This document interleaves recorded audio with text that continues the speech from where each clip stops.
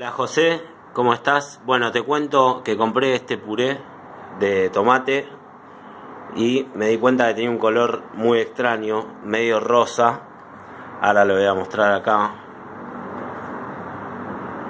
No sé si se puede llegar a ver. Y ahora te voy a comparar uno de una marca conocida que tiene un color mucho más intenso.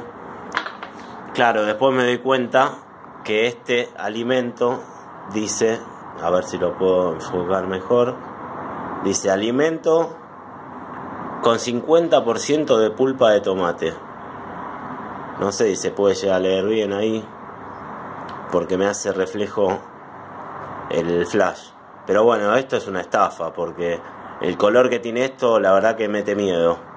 Y te lo cobran dos pesos más que, cualquier, que el otro, que es de marca Molto.